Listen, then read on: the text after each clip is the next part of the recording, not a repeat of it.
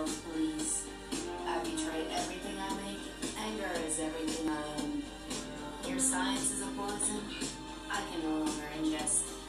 Take your prescription and shove it up your ass. This is where we part, and this is how I end. The capitalization of my deprivation.